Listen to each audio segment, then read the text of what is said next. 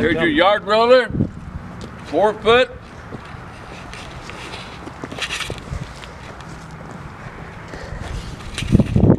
Got your plugs in here to fill it with right here, I think. Or don't put anything in it.